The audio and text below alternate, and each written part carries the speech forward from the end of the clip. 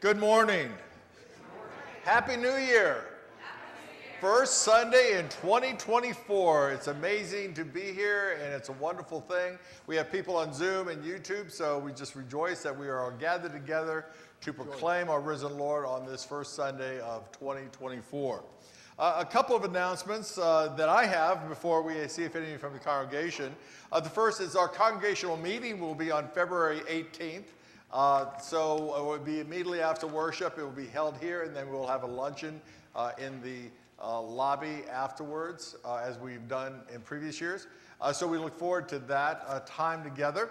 We also, if you have, if you're a chair of a committee and you have books that need to be audited, please give them. bring them into the office and give them to Lisa so that when we begin auditing books, we'll have those available. So there'll be uh, we'll have the auditing team will be able to uh, make an announcement of what, how we've been doing at the annual meeting. Also, a week from tomorrow, we'll have, we're having a, our first virtual prayer walk. And uh, it's in the bulletin. And so just really encourage everyone to look at that. I will be sending out a link for everyone to access uh, probably that morning. And then we will at 7 o'clock gather and really encourage you to come. For those of us who've gone on a prayer walk, and we've done Livingston and Boast and uh, the area over uh, to uh, area over here, the flat tops, and it's really been an enjoyable time, uh, really a, a, refreshing time to gather and pray for people along the way, the community, the streets, and uh, members of our church who are uh, there. And we've extended this to uh, the rest of West, West Mifflin as well. And our prayer walk on a week from Monday will be focused on those communities that would be dangerous to walk in during the day, much less at night. So we, but we still want to pray for them. So it's going to be virtual. We'll all be gathered together on uh, by Zoom. And uh, Tom Richards, all the way from Utah, will be showing us. Will be uh, virtually going through these communities and praying for them and just praying for uh, West Mifflin. So really encourage you to join us uh, 7 p.m. on Monday, next Monday, uh, a week from uh, tomorrow. Uh, so those are my announcements. Do we have annou announcements in the back? Go ahead. Good morning. Good morning. Um, Fellowship wants to invite everyone uh, to join us next week as we have a snack and chat. And we're going to be featuring homemade soups and breads um, in honor of National Soup Month. So please plan to join us. Thank you. And we have one from Kate. Hi. See how pretty the sanctuary looks, how beautiful it is? Well, next week at this time, it won't look like that because we need to undecorate. And we will be doing that this coming Saturday morning, somewhere around 9.30. So, you know, many hands makes the work go a lot faster. So if you can make it, uh, we always have a good time doing it. we always have a good time doing it, and um, it needs to be done. So if you can help us, we would greatly appreciate it. Thank you much. Thank you, Kate. And while Kate's there, I just want to thank Kate for preaching last Sunday. She waving me off and saying no, no, so I want to talk a little more about that. Uh, but I really want to thank her for uh, preaching last Sunday, and you know, I was able to watch it on YouTube, and it was really wonderful. And so, uh, thank you, Kate. And again, anyone who would like to preach, let me know. Belinda, are you you're up right soon? so anyway, anyway, so if anyone would like to preach, let me know. We're going to be uh, hopefully in the next couple of weeks, so certainly uh, no later than February, we're going to have a preaching class again so we can uh, talk about how to develop a sermon. So, any other announcements? Not seeing anything let us center ourselves on the worship of God.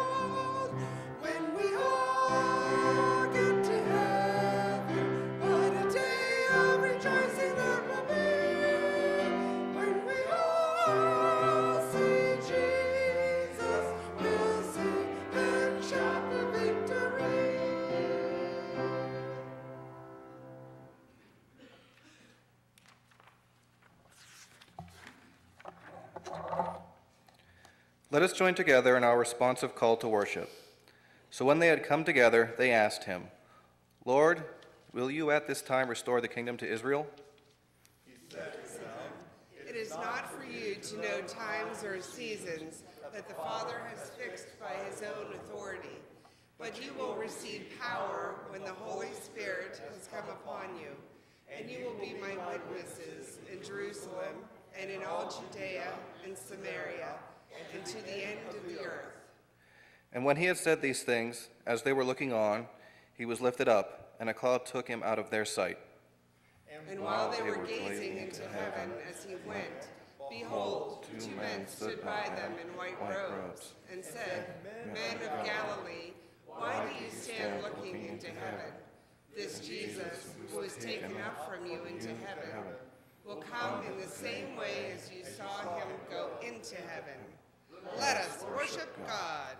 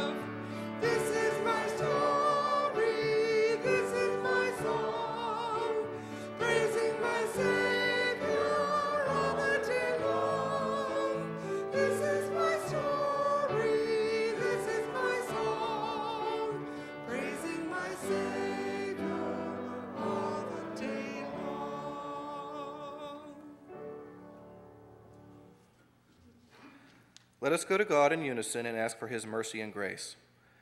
God of newness and restoration, we celebrate the coming of the new year, not because of its festivities, But because we know that we have another opportunity to show you the depth of our love. Sadly, in the midst of our joy, we sin and fail to follow your word. Forgive us and bring us back to your path of righteousness so that we can once again know the gladness of being in a right relationship with you.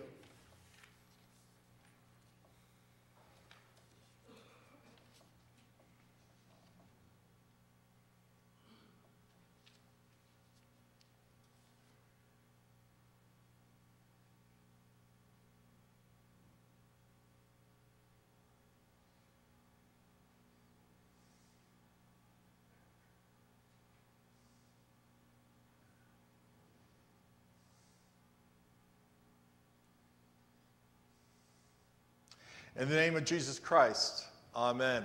Christian friends, our sin is ever before us, and yet God is even more before us because he calls us back to himself despite anything we do. For he loves us and calls us his own. So hear the good news. In Jesus Christ, we are forgiven. Amen. Let's remain standing and affirm what we believe by sharing together in the Nicene Creed. I believe in one God, the Father Almighty, maker of heaven and earth, and of all things visible and invisible, and in one Lord Jesus Christ, the only begotten Son of God, begotten of his Father before all worlds, God of God, light of light, very God of very God, begotten, not made, being of one substance with the Father, by whom all things were made, who for us men and for our salvation came down from heaven and was incarnate by the Holy Spirit of the Virgin Mary and was made man, and was crucified also for us under Pontius Pilate.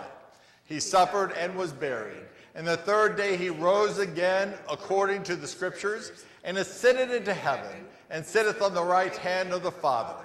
And he shall come again with glory to judge both the quick and the dead, whose kingdoms shall have no end. And I believe in the Holy Spirit, the Lord and giver of life, who proceeds from the Father and the Son, who with the Father and the Son together is worshiped and glorified, who spoke by the prophets. And I believe in one Catholic and Apostolic Church.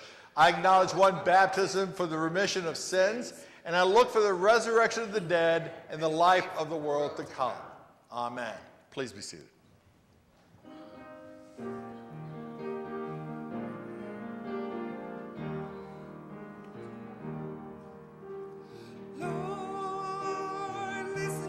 Listen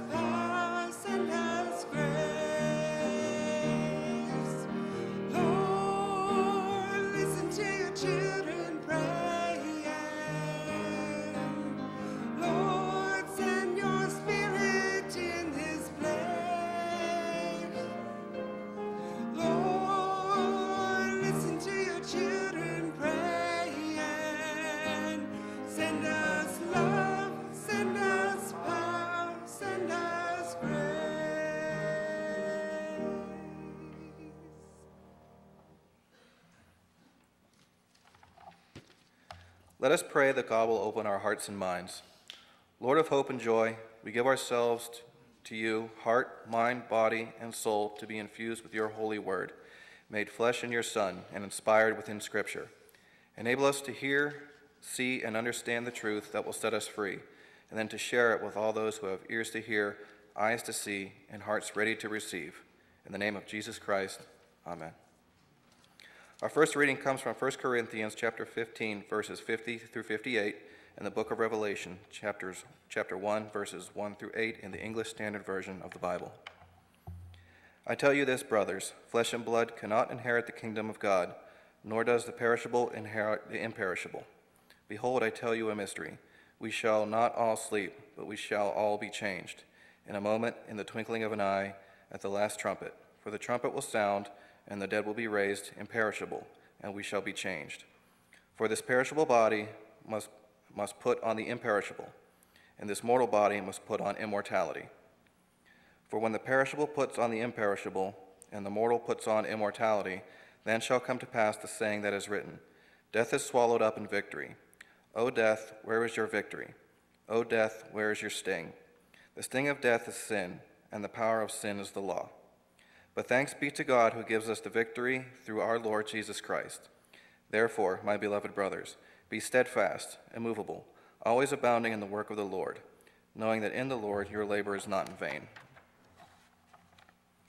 The revelation of Jesus Christ, which God gave to him to show his servants the things that must soon take place. He made it known by sending his angel to his servant John, who bore witness to the word of God and the testimony of Jesus Christ, even to all that he saw. Blessed is the one who reads aloud the words of his prophecy, and blessed are those who hear, who keep what is written in it, for the time is near.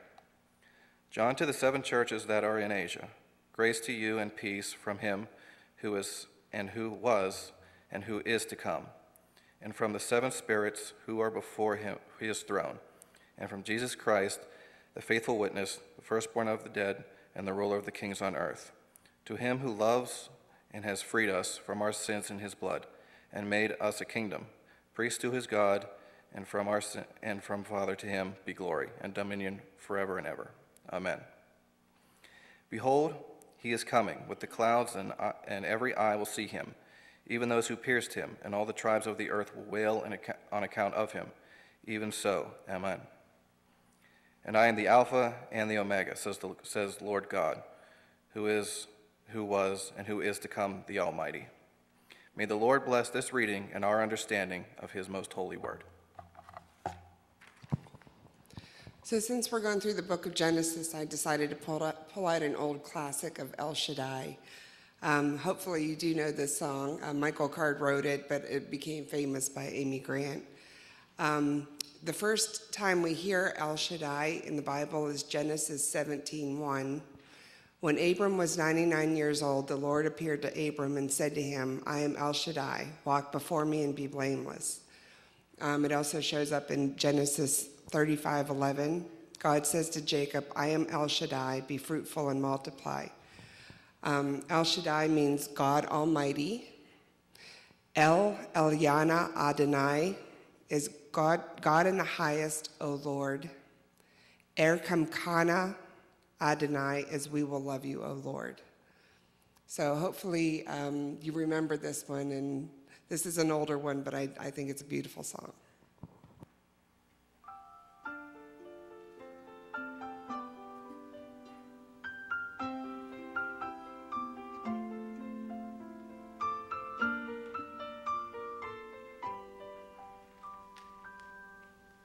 El Shaddai, El Shaddai, El Elyon Adonai. Age to age, you're still the same by the power of the name. El Shaddai, El Shaddai, El Hamkana Adonai. We will praise and lift you high, El Shaddai. Through your love and through the Ram, you saved the son of Abraham. Through the power of your hand, turn the sea into dry land. To the outcast on her knees, you were the God who really sees. And by your might, you set your children El Shaddai, El Shaddai, El Elyon Adonai. Age to age, you're still the same by the power of the name. El Shaddai, El Shaddai, Elkamana Adonai. We will praise and lift you high, El Shaddai.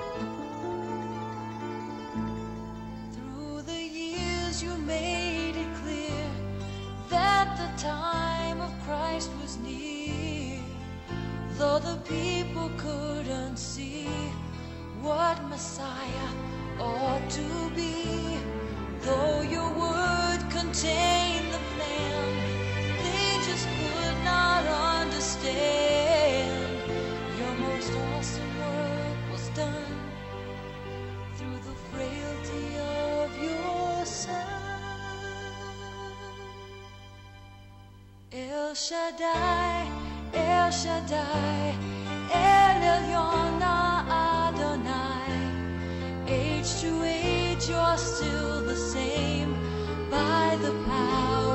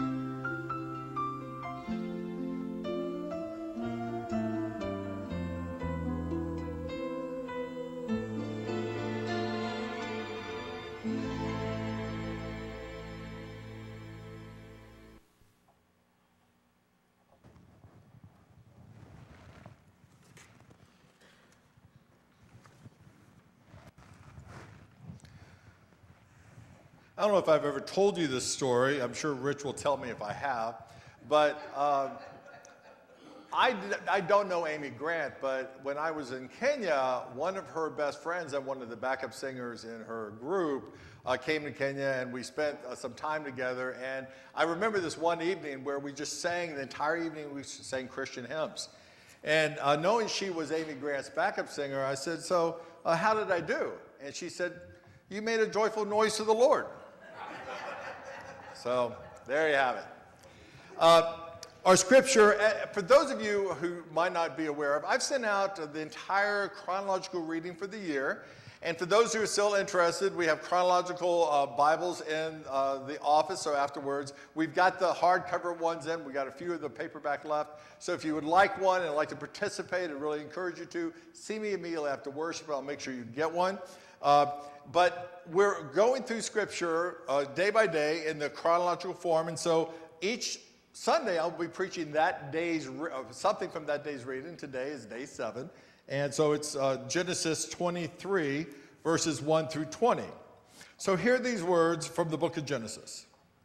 Sarah lived 127 years. These were the years of the life of Sarah.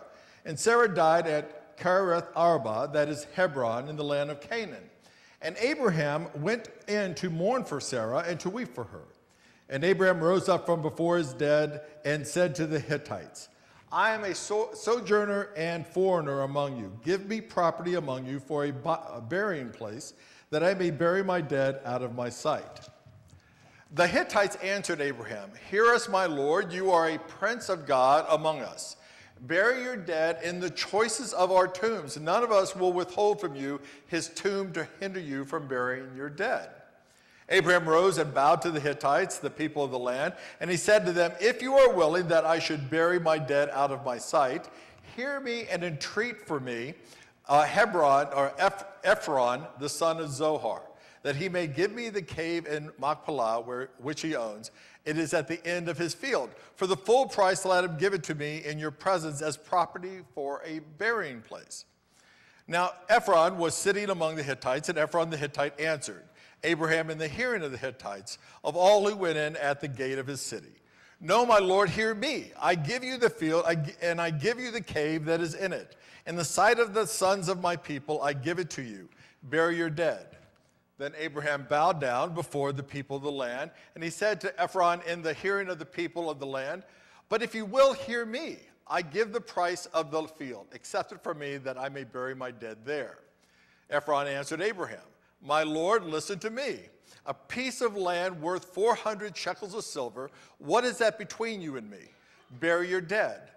Abraham listened to Ephron, and Abraham weighed out for Ephron the silver that he had named in the hearing of the Hittites, 400 shekels of silver, according to the weights current among the merchants. So the field of Ephron in Machpelah, which was to the east of Mamre, the field with the cave that was in it, and all the trees that were in the field, throughout its whole area, was made over to Abraham as a possession in the presence of the Hittites before all who went in at the gate of his city. After this, Abraham buried Sarah, Sarah, his wife, in the cave of the field of Machpelah, east of Mamre, that is Hebron, in the land of Canaan. The field and the cave that is in it were made over to Abraham as property for a burying place by the Hittites. This is the word of the Lord. Thanks be to God.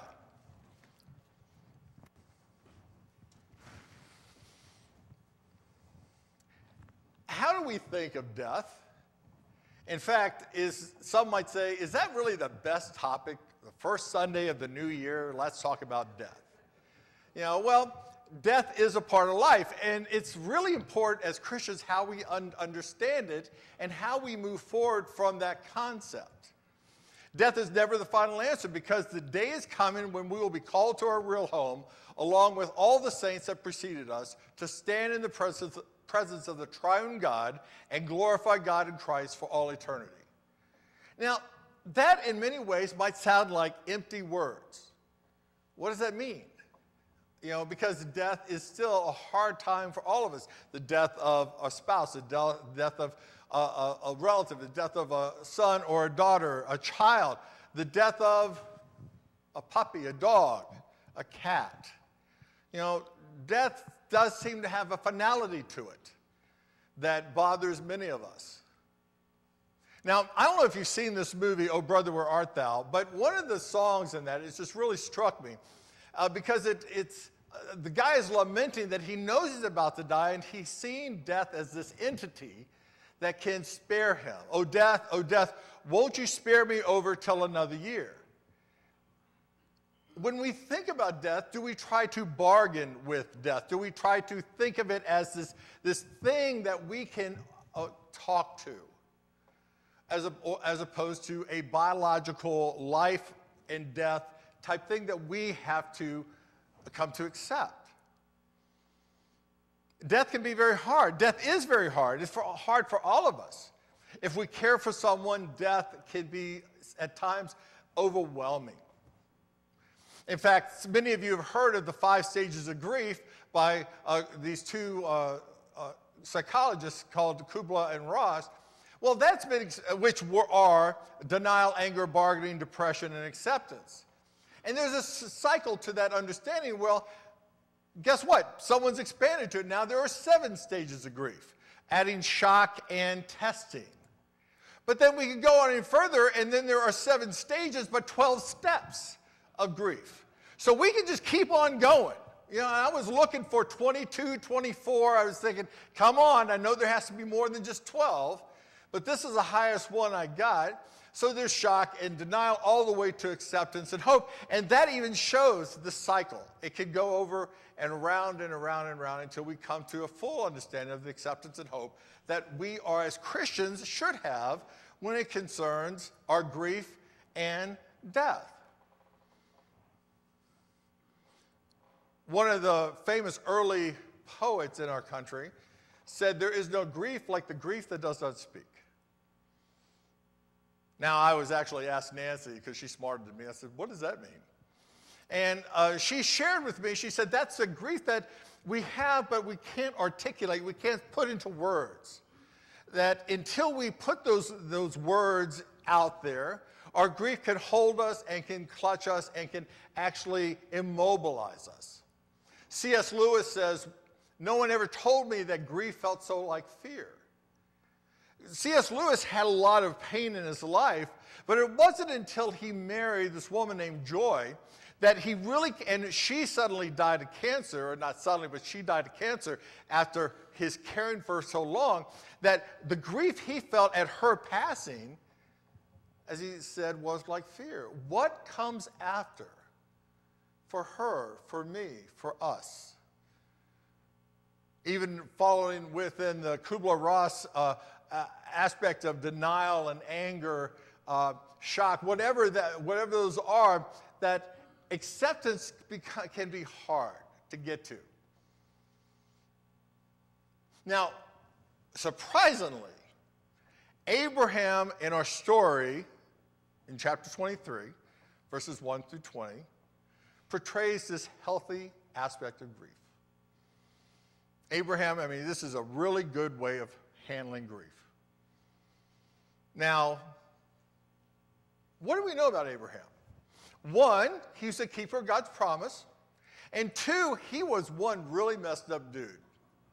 I mean, if you want a case study on a messed up father, messed up family, messed up husband, all you have to do is read about Abraham.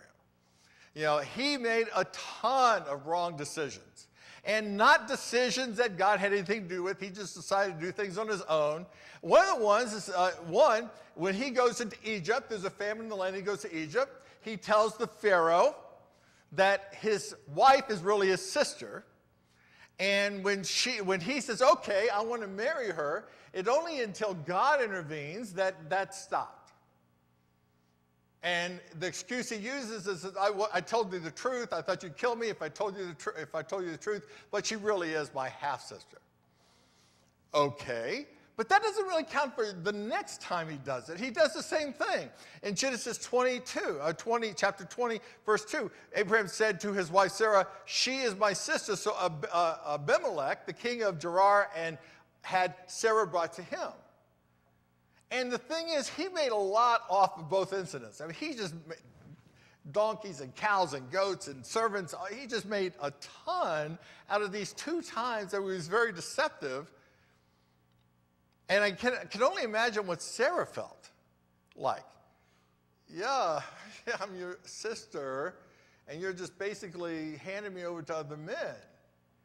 So, like I said, Abraham is not the best example of a husband or a father. Yet, he does he is a father of faith. Because he does some things that speak to us and becomes uh, God counted him as righteousness. In Genesis 15, 6, and Abraham believed the Lord, and the Lord counted him as righteous because of his faith. God says, you will, you will be more, your children will be more than the uh, sons of heaven or the, sons, uh, the stars in the sky. And Abraham believed, and God counted him as righteous because of that. It also follows in Romans 4:18 that against all hope, Abraham in hope believed and so became the father of many nations, just as has been told, so shall your offspring be.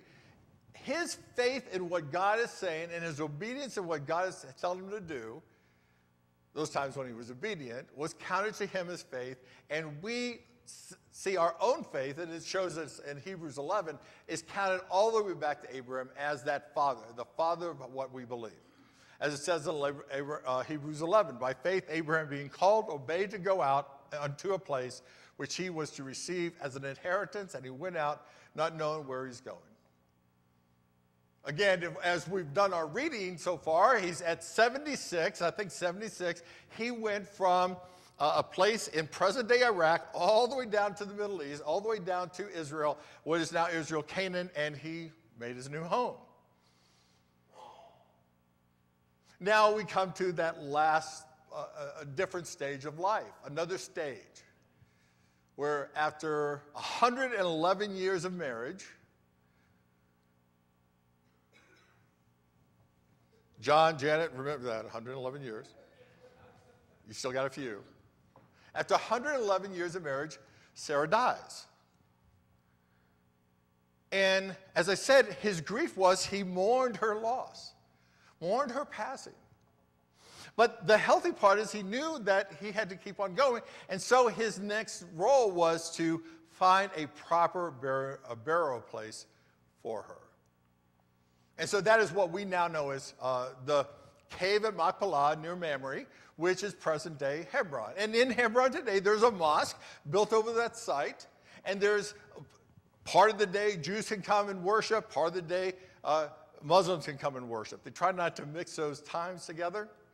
But again, they recognize the, the, that area, who, the, the authorities over that mosque recognize that it is as vital to the Jews as it is to the Muslims, for they both look at Abraham and Sarah as the mother and father of faith. So let's look at our passage and see how this progresses and what does it tell us about how death leads to life for us as Christians. So Genesis 23, 1 through 4 says, Sarah lived 127 years, and these were the years of the life of Sarah. And Sarah died at uh, Kiriath Arba, that is Hebron, in the land of Canaan. And Abraham went, into, went in to mourn for Sarah and to weep for her. And Abraham rose up, rose up from before his dead and, and said to the Hittites, I am a sojourner and a foreigner among you. Give me property among you for a burying place that I may bury my dead out of my sight. Now that's, you see the progression. He has come to accept the reality that his wife is dead. He's not dismissing his pain, he's not dismissing his mourning, but what he is, he's moving on to that next stage of ensuring that there's a proper place for her to be. We have to remember that Abraham was a nomad. He, he would settle here and he would settle there. He was in Philistine for a long time. Now he's among the Hittites in what is in present day Hebron. You know, he, he traveled. And he did not own anything among the people, among the land. But here he wanted a permanent spot to bury his dead. Megan Devine, who is a, uh, a psychotherapist that focuses on grief, says Here's the truth about grief loss gets integrated, not overcome. However long it takes, your heart and your mind will carve out a new life amid the, this weirdly devastated landscape. Little by little, pain and love will find ways to coexist. There's a truth to that that Abraham realizes that this is the, this, though it's the end of Sarah's life, it's not the end of his. And to honor her, he has to find a place for her to be. And a place that he can return to, and a place that he can return to when the days end and his life is over. And this place at the cave at Machpelah near Mamre becomes that place. Because life is what happens to you while you're busy making other plans. He realized that even in the midst of his mourning, he needs to progress and do other things. He can't give it to anyone else to do. He has to take that responsibility for himself because he is the head of the family. And he does that, and he begins this process of talking with the Hittites about this particular piece of land. So it continues in Genesis 23 the Hittites answered Abraham, Hear us, my Lord, you are a prince of God among us. Bury your dead in the choices of, your uh, choices of our tombs. None of us will withhold from you his tomb to hinder you from burying your dead. Abram rose and bowed to the Hittites, the people of the Lord, uh, land, and he said to them, If you are willing that I should bury my dead out of my sight, hear me and entreat for me Ephron, the son of Zohar, that he may give me the cave of Machpelah, which he owns. It is the end of his field. For the full price, let him give it to me in your presence as property for a burying place. Abraham begins this process of conversation. I don't say negotiation, even though it may seem like that. This is a process of conversation to gain permanence. It's interesting that the Hittites are saying, choose our choices, choices tombs. Basically, take Sarah and put her in a tomb that's already occupied. Because uh, tombs back then weren't just a one person deal, per- tombs were family, family groups. An entire family, entire series of people in that family, the descendants would all be in one place. And so the Hittites are saying, sure, any one of us, the fanciest tomb we've got, you can put Sarah in there. But Abraham wasn't really keen on that idea. You always have to be skeptical of freebies, don't you? Isn't that, isn't that neat, freebies? You know, you got to be skeptical of, you know, things that people offer you for free. Here they were saying, sure, we don't want to give, I mean, we're not giving you something new. We're giving you something used. We're giving you something that there's going to be other folks, you know, buried there. And burying back then is, again, the process is you were laid in a tomb uh, until your flesh was no more, then your bones were gathered and they were put in a box. And that box was put on a shelf. And then, so you'd go into any tombs, and depending on the process of how many people have died, you would have boxes and then you would have bodies. So that's what they were saying we'll do. We'll give you a, we'll give you a place, and at the end of the time, put it in a box, put it on the shelf, good to go. And you can come to our tomb and worship, or our tomb and you know, uh, pay homage to your wife in our tomb. And that was a freebie that was being offered to Abraham that he was not willing to accept. Have you ever heard of the, the concept of permanence of objects? You know, children, babies, you play that peekaboo game, you know, peekaboo. You know, at a certain age, when they're months old, when you cover your face with your hands, they actually think you've disappeared. I mean, that, they just said, where did, where did mom and dad go? Well, I don't know. I mean, you know, they were here just a second ago. And then you open up your hands, they go peekaboo, and they go, oh, you know, oh, there they are. Children have that idea to, uh, children or little babies can lose that, uh, have that sense of, uh, develop a sense of permanence where you close this, oh, mom and dad are still there, their just hands are covering their face. What Abraham wanted is he wanted a sense of permanence. He wanted a place not just for Sarah, not just for himself, but for his entire lineage that God had promised him. Now, at this point, he has one kid. He has Isaac. And Isaac's a grown man, but that's all he has. So, what is his real needs at that point? But he's not looking at the immediate need, he's looking at the long term need. So he begins again, continues his conversation now with Ephraim himself. Now, Ephraim was sitting among the Hittites, and Ephraim the Hittite answered Abraham in the hearing of the Hittites, of all who went in at the gate of the city. That, that's another thing. The men of the town, it's like that old, being that old general store, they'd sit around the potbelly stove.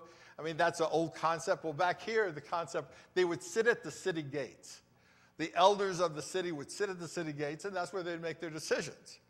And so there, he's gathered Ephron, Abraham, all the elders are gathered at the city gates of uh, Hebron, or uh, the city they're in. And it says, No, my Lord, hear me. I give you the field and I give you the cave that is in it. In the sight of the sons of my people, I give it to you. Bury your dead. Then Abraham bowed down before the people of the land, and he said to Ephron, in the hearing of the people of the land, But if you will, hear me. I give, I give the price of the field, accept it for me that I might bury my dead there. Here now you have Ephron offering the field, offering the cave, saying, Sure, you can have it all. And seemingly again, for free. Milton Friedman said there's no such thing as a free lunch. Again, without a signed contract. And believe it or not, we have signed contracts from that time today of showing property transfer. So, but if, the, if you did not have a signed transfer of property, who owns the property? So, yeah, you might put Sarah there first time, but you know, cousin Ida might go there the week after, and Uncle Cletus the day after that. We don't know, but that property is still mine, and, and Abraham is recognizing that's not what I'm looking for. I'm not looking to put my wife into a tomb that already has people. I'm not looking to put my wife in a place that I don't own. He's looking for that permanence. And again, I've said it clearly this is not a negotiation even though Ephron might be thinking it is, this is a conversation. Because we, we see in the next passage of Scripture what happens. Ephron answered Abraham, My Lord, listen to me, a piece of land worth 400 shekels of silver. What is that between you and me? Bury your dead. Ephron, uh, Abraham listened to Ephron, and Abraham weighed out for Ephron the silver that he had named in the hearing of the Hittites, 400 shekels of silver, according to the weights current among the merchants. Now, I don't know about you, but I have to think what is 400 shekels of silver worth? Because you see what Abraham did? He paid full price. He didn't negotiate. He said, What, what do you want? 400 shekels. What's 400 shekels? Here. Here's what you, know, you wanted 400 shekels, you named it. Here, full price. This ensures a couple of things. It ensures that one, this is now fully his property, and two, that no one can accuse him of cheating or negotiating in bad faith because the number named by Ephron the Hittite was the, was the amount he gave. Now, some might wonder was this piece of property worth 400, you know, 400 uh, shekels of silver? Well, in today's world, that would be worth about $3,500. And I don't know what sort of property you can get for $3,500. But that's because silver is more common today than it was back then. Back then, it was worth uh, $624,000. So that's what Abraham pulled out of his pocket. Here, $624,000. And I don't know much property that would be worth that amount of money for a cave and a field. So I think if you were thinking, if did Ephron get a good deal? Ephron got a great deal. And that's why Abraham wasn't going to negotiate. He's going to say, whatever you say, here. So the field of Ephron and Machpelah, which was to the east of Mamre, the field of the cave that was in it, and all the trees that were in the field throughout this whole area, was made over to Abraham as a possession in the presence of the Hittites before all who went in at the gate of his, of his city. After this, Abraham buried Sarah, his wife, in the cave of the field of Machpelah, east of Mamre, that is Hebron, and, is, and in the land of Canaan. The field and the cave that is in it were made over to Abraham as property for a burying place by the Hittites. And this is a property that still exists and that still is, by all purposes, belonging to Abraham and his descendants. And this becomes the first part of Canaan that is without a doubt inherited by the people of Israel. And for them, it's a done deal. Now they're given the rest of the land of Canaan by the promise that is given to them to Abraham, the, the land that he was going to possess, the land flowing with milk and honey. But this piece of property, the final piece of property that everyone would end up, or actually the temporary stopgap until uh, would be for all the people. Because in truth, this is just a rest area. You know, when we think of, again, death, do we think of as a finality, a final destination? This is it. So I think even among Christians, we do have that tendency. We think this is all there is. Now, non Christians, would, they have nothing for them that says it would be any different. You die, you're done. What, what's in the grave is what will stay there. But for Christians, that has never been the case. Jesus made it clear that there's something very different when it comes to what we understand Christianity to be. You know, every symbol, word, concept, discipline, field is only a temporary rest stop on the highway of discovery. And for Christians, the more we come to understand what God tells us through His Word in Jesus Christ and His Word in Scripture, yet here's another plug to do this chronological year through the Bible, enables us to understand more and more what He wants us to do and what He's called us to do, and the hope that ends everything. Because the hope is not in the hope is not that we can live good lives through Jesus Christ. The hope is that Christ is coming again because he is the firstborn of the dead. He is the first fruits of the resurrection. He is the one that is coming to return for all of us who believe. So Paul says in 1 Corinthians 15, 55 through 57, O death, where is your victory? O death, where is your sting? The sting of death is sin, and the power of sin is the law. But thanks be to God who gives us this, the victory through our Lord Jesus Christ. This is the point of we, what we need to understand is that we have new life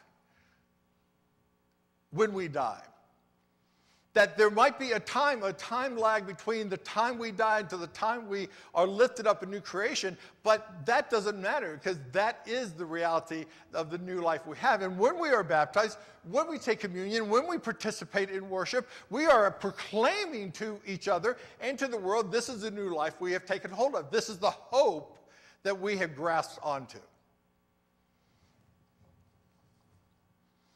But we got to wait for it because tick tock, it's been 2,000 years. Hasn't it? Jesus died about 2,000 years ago. He said he was coming soon. Now we see in uh, Acts 1 6 through 7, he said to them, Jesus said to them, It is not for you to know the times or the dates the Father has said by his own authority. It says in Matthew, No one knows about the day or the hour, not even the angels in heaven, nor the Son, but only the Father. So we know God in heaven, He knows when He's sending His Son back. We don't. And the early Christians thought it would be any time. They thought it was going to be today. They thought it would be tomorrow. If it's not today, it's tomorrow. If it's not tomorrow, it's next week. If it's not next week, it's going to be this year. And Christians have been saying that for going on 2,000 years. But that's all right because what do the angels, what do these two men in white say to the disciples when they're standing gawking up in heaven because Jesus has risen in a cloud? They say, Don't stand there. Go and do what he told you to do. Go and prepare yourself to receive the Holy Spirit. And then, when you've received the Holy Spirit, to go out into the world proclaiming the truth that Jesus Christ is risen. That is what he told them. That is what these angels told them to do. That is why we are called to be the good news in our community. We are to show our community that we are Christians, that we love them and we hold them as precious, and that we want to share the good news of Jesus Christ with them. Because that day is coming when the name of Jesus, that at the name of Jesus, every knee shall bow in heaven and on earth and under the earth, and every tongue confess that Jesus Christ is Lord to the glory of God the Father. That day is coming. And it is our job in pre- preparation for that day to share that news with the world so that they can understand who he is because he is coming with the clouds and every eye will see him. Even those who pierce him and all the peoples on earth will mourn because of him. So shall it be. Amen. No one's going to mistake the coming of christ again. No one's going to be confused. What's this? Did he come Oh, let's go and see this kid in a manger because some angels told us. Or let's go and see this kid because a star led us. Or, yeah, I, I, I've heard about this. I've seen this. Someone told me about this. No, every eye will see this reality. And this is the joy of our living hope. This is the joy of our living hope. That Christ is coming. That death is not the final answer that what Abraham did in the cave at Machpelah near Mamre was not to say this is a memorial where we can just go and pay homage to those who have died before us. This is a rest area for all who have died until Christ returns. And then we will all, those who believe, will ascend together and be with God for all eternity. And therefore, our response to that is, Come, Lord Jesus. And he's coming soon. I'm not saying it's today. I'm not saying it's tomorrow. I'm not saying it's this week, this month, this year, but he's coming soon. And we need to be ready. We need to be prepared. And until then, we need to not sit on our hands, but proclaim the truth to the world that Jesus Christ is Lord. In the name of Jesus Christ, amen. And Christian friends, when we gather to this table, this is what we proclaim and this is what we rejoice in. We say to everyone that have ears to hear, eyes to see, and hearts ready to receive, that Jesus Christ is our Lord and Jesus Christ is your Lord, so that they can too come to understand who Christ is in their lives. We invite all who believe this to be the spiritual presence of Jesus Christ to partake in this.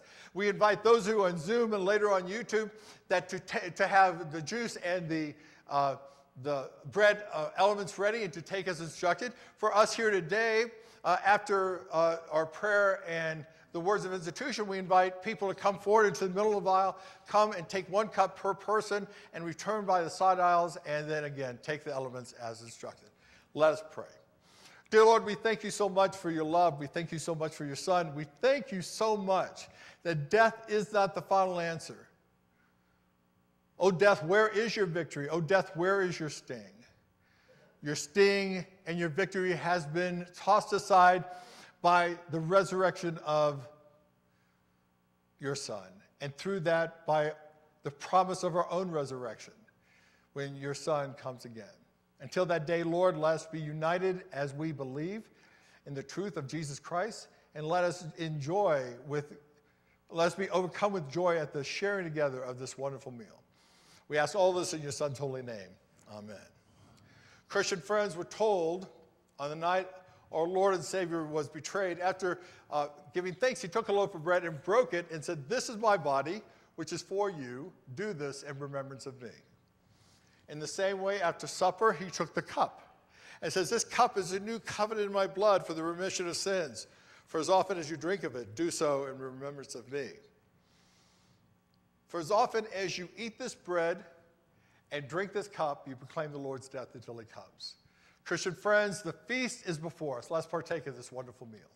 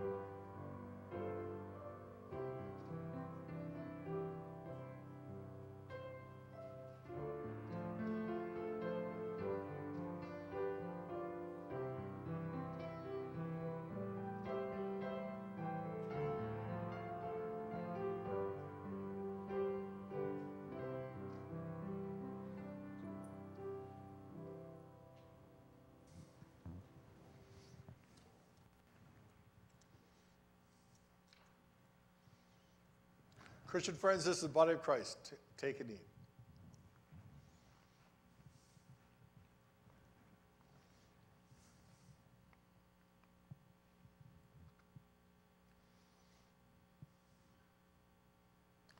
Christian friends, this is the blood of Christ. Take and drink.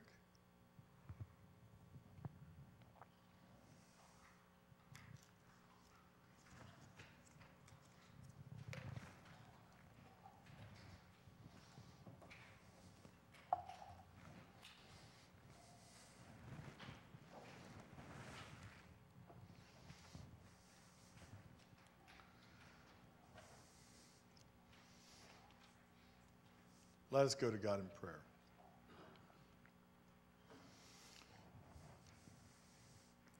Heavenly Father, we come to you on this first Sunday of the new year. We rejoice that you love us and we rejoice that we know your promise will be kept, that a day will come when the trumpet will sound and your Son will descend on the cloud to claim all that believe. We look forward to that day, Lord. Until that day comes, let us seek your face in so many ways through our actions, our, beliefs, our efforts at righteousness, knowing that though we might not be righteous, you love us despite that. We ask your blessings on our church in this, uh, this coming new year. Let it be faithful and spirit filled. Be with all those who are still traveling because of the holidays or for other reasons. Lord, we ask you to be with Bill Braun, who uh, was a member of our church and uh, is getting on in years. He's not doing well. Just be with him during this time uh, of COVID and flu and pneumonia. Just uh, lay your hand of blessing upon him. Be with Cindy Hawk's brother Tom as he's recovering from back surgery. Be with Belinda's friend Mike, who needs a kidney transplant, and uh, the person she brought to our attention, Brooks, and the family that Brooks, a little five year old, has rare cancer. We pray for a complete recovery and healing. Lord, be with Peggy Pryle, who has eye issues, and be with her uh, brother Tom, who has heart issues and uh, recently became a Christian. Be with Brian Hawk, Bob Hawk's son, and their uh, children, and his children as they're going through a difficult family dynamic time. Be with Cindy, Bob's wife, who has some uh, general health issues, no definite diagnosis, but be with her. Be with Leslie Holloman, who has COVID, is recovering. Be with her brother Dale, who's in hospice and is not doing well. With her sister Lisa, who's overcoming cancer, and her father Bill. Lord, we ask your blessing on Donna Carney, who has an upcoming PET scan and knee surgery. Be with Adeline uh, Jamello, who on December 26 had her tonsils and adenoids removed and who's gone through some difficult times since then. Lord, be with Nathan Wheeler, uh, who has this medication uh, illness diagnosis. Be with her. Be with uh, Justina's son, Gianna, uh, who is in the Children's Hospital with this high fever and coughing home now. Be with Nina Garden and her son Noah, who's mourning the soon loss of their dog uh, who is soon to pass away, with all those who have lost uh, beloved pets. Be with them, give them your strength. Lord, be with all the victims and their families in the shooting in Iowa. That seems to be such a common thing that happens nowadays. Give those families their, your strength, give the victims your strength. Be with the Petruzzi family, Lord. Be with Nancy and John and their daughter Kim. Be with John Weber, who is blood clots in his lung are slowly being absorbed, with Terry Nicholson as she continues to mourn the passing of her dad, and as she and her brother Mark support uh, their mom Carol through her grief. Lord, be with uh, Robert uh, Montgomery, uh, Pearl Montgomery's uh, brother in law, who was here on Christmas Eve. We rejoice in that. Uh, be with him, let him continue to overcome his heart issues and his leukemia. Be with Dick Snyder, who has kidney issues uh, be and who is struggling with his health. Be with uh, Belle as she supports him and loves him.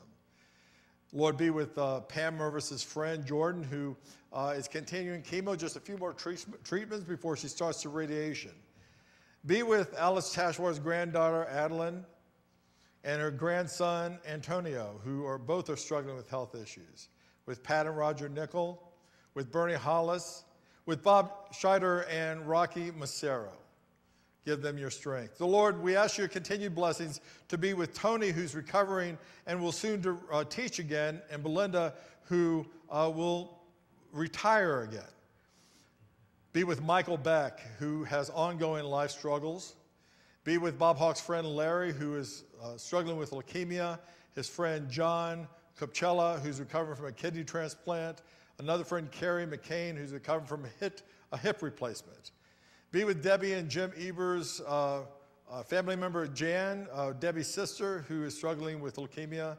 Be with the Wonka family, with their friend Big Don, who has renal failure, needs a transplant. Mike, who has heart issues. Buff, uh, Cardwell family, who has family dynamics. And April Wonka and her two sons and their father, also with family dynamics. Lord, be with Tommy and Debbie Beckovac. Debbie has COVID again, but is recovering. Tommy is just steadfast with her at all times. We thank you for that. Be with Sherry Strawn's friend, uh, Marcy. Be with Amy Hines as she has ongoing health issues. And Lord, be with the Benders. Be with uh, their niece Amy and their friend Lillian. Be with the Richards as they enjoy their time in Utah. And Lord, be with all of us as we seek uh, to help each other through our depressions, our anxieties, uh, confrontations with difficult life decisions, our private hurt and pain. Let us know that we always have you as our hope and our assurance. Lord, be with our nation. Let it not be so politically divided. Protect our police and our military. Give us peace and security. And Lord, be with, our, be with the world and all those different places of the hot spots. Open hearts to do your will, open hearts to see your truth, open hearts to forgive each other and to love each other. Lord, we ask your blessings on all of us as we seek to do your will each and every day. And as we pray the prayer your Son taught us Our Father, who art in heaven, hallowed be thy name. Thy kingdom come, thy will be done, on earth as it is in heaven. Give us this day our daily bread, and forgive us our debts as we forgive our debtors and lead us not into temptation, but deliver us from evil. For thine is the kingdom and the power and the glory forever. Amen. Christian friends, we have offering baskets in the back. For those who have already given your offering, we thank you for that. As you leave, if you would like to, that'd be great. And those on YouTube and Facebook, if you'd like to send your offerings in, again, that'd be wonderful as we seek, as a community of faith, to spread the good news of Jesus Christ out into West Mifflin and out, out to the world. Let us pray. Dear Lord, bless these gifts and let them be used for your purpose. Bless these gifts that be, lose, uh, be used for your truth. And bless each one of us as we give uh, joyfully and faithfully according to your calling. We thank you and love you in your Son's holy name. Amen.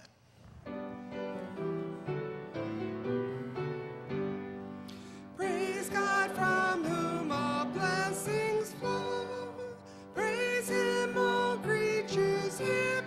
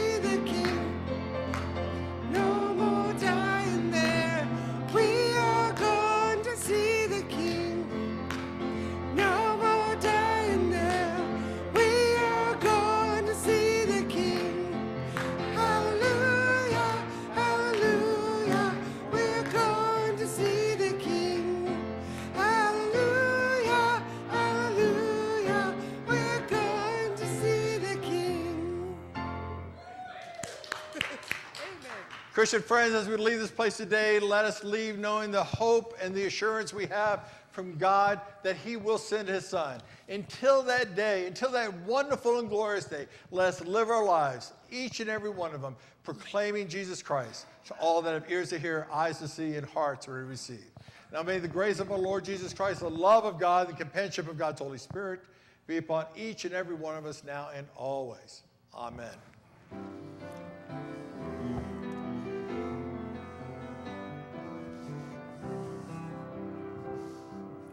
God of the ages,